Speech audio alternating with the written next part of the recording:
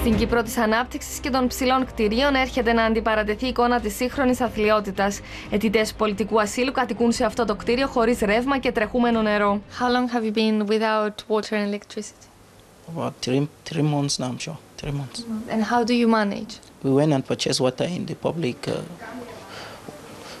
public tap in one petrol station in the city there.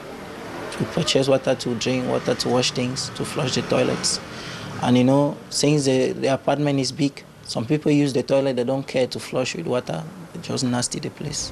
Ο Έλβης, η Σίλβια, ο δίχρονος γιος τους και η εξάμηνη κόρη τους κατοικούν σε αυτό το δωμάτιο. The babies, they could not sleep. They keep crying, crying all the time. Μοιράζονται το διαμέρισμα με άλλους 25 περίπου ανθρώπους που μένουν στα άλλα 9 δωμάτια. I keep cleaning cigarettes without being a smoker. When I complain to them, this cigarette is not good for the health of my children. They keep telling me this place is not good for family. Why did they first of all bring you people here? Ζουν αναγκαστικά μέσα στη βρωμιά, την υγρασία, τη δυσοδεία και τα παράσιτα. We keep going to the hospital, coming back. Because of the smell. The smell is too much. It's too much for us to bear. We never came here because we love it. It was as a result of war. I came here sick. I and my son were sick. We've been admitted in Macarius For more than a month.